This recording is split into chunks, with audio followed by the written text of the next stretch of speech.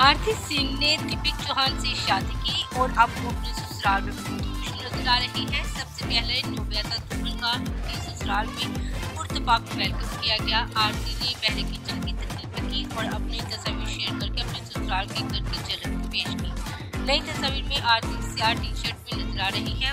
सादा रूप में नज़र आ रही है। इनने मेकअप या बिक्री नहीं पहनी है, लेकिन इनके हाथों में सिंदूर और चुटकियाँ ज़रूर दिखाई दे रही हैं, जिन्हें आरती फ्लर्ट कर रही है इनके शोहर दीपिक ने इनकी ये वीडियो बनाई है, जिसे आरती ने अपने सोशल मीडिया पर पोस्ट किया है। इसके अलावा आरती ने एक सेल्फी भी शेयर की है। इनके घर की बालकनी की एक झलक भी दिखाई दी, जहाँ से बाहर का मंजर नज़र आ रहा है। आरती ने शोहर दीपिक चौहान के साथ बहुत ही रोमांटिक तस्वीर शेयर की है। इन्होंने अपने शोहर को टैग किया है और तस्वीर पर मुझे तुमसे प्यार है लिखा। आरती ने अपने सोशल मीडिया पर अपनी शादी, वरमाला और फेरे की अनदेखी तस्वीर शेयर की। वरमाला का एक वीडियो भी वायरल ज़्यादा धक्के मारने के दरमियान सबको पुरसकून करता और सर झुकाकर अपने दुल्हन के सामने घुटनों के बल बैठकर वरमाला पहनता